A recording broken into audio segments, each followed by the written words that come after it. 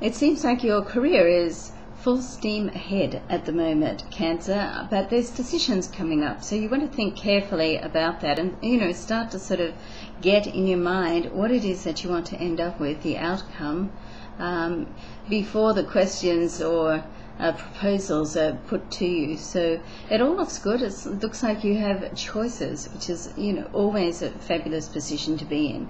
Uh, but you want to work those choices so it, ends up being what you want to do, not necessarily what somebody else is. Um, let's say manipulating you to do, which never goes down well with the Cancerian anyway. I mean, uh, my term for cancer, Cancerians has always been fragile steel.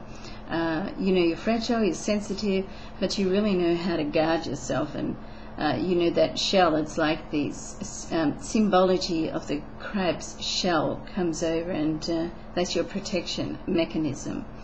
Uh, so, you know, keep that in mind as well, that, you know, you don't want to let anybody that you don't feel 100% right about get too close right now.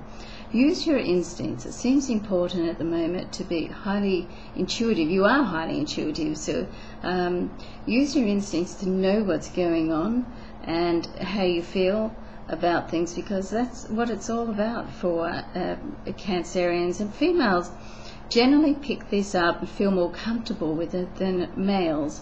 So um, for the males, you know, get in tune with your uh, instincts and your intuition because they won't let you down. You're very, very, in, you're very uh, able to tune in. So this is an opportunity for you to do that.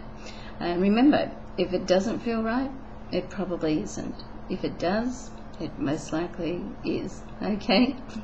Have a great week this week, and I look forward to seeing you next week. Bye.